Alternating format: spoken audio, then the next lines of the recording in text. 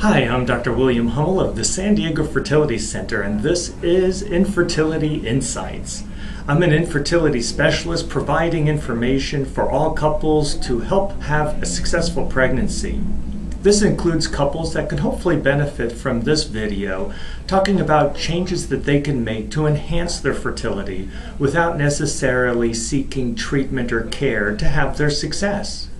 It starts off first and foremost with diet knowing that a healthy diet of protein, vegetables, and fiber will help women have a better ovulatory cycle, staying away from the sugar of carbohydrates.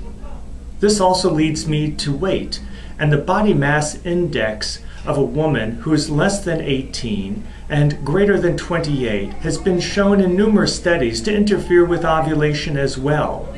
Sex hormone binding globulin and adjustments in their androgen levels are most commonly at issue.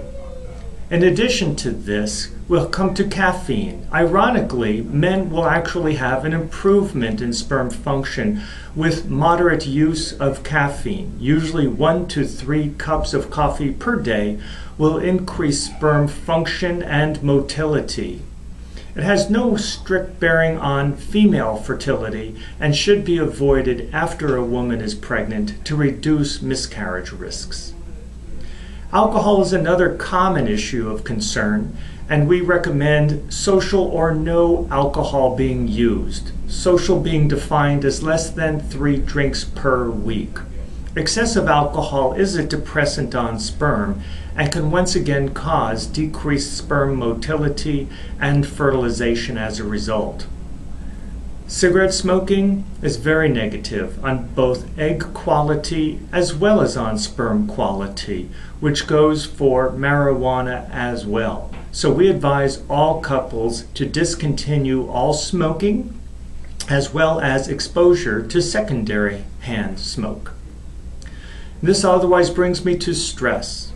Stress is a biggie and it's real. So what I would recommend is do moderate exercise to reduce stress and this will enhance your ability to have a healthy body. This will also enhance your insulin resistance to have a better chance of ovulating. For men, we see exercise also helps to expose the testicles to a cooler temperature where they enjoy a better productive time making sperm. Men should avoid sitting in a hot tub or a jacuzzi for the same reason. So, stress reduction, exercise, nutrition, a healthy lifestyle, will all make a big difference for you to not only conceive but stay pregnant in a healthy relationship and starting your healthy family. I wish you the very best. I'm Dr. William Hummel. Take a look at my other videos on stress and in vitro fertilization. I look forward to seeing you soon.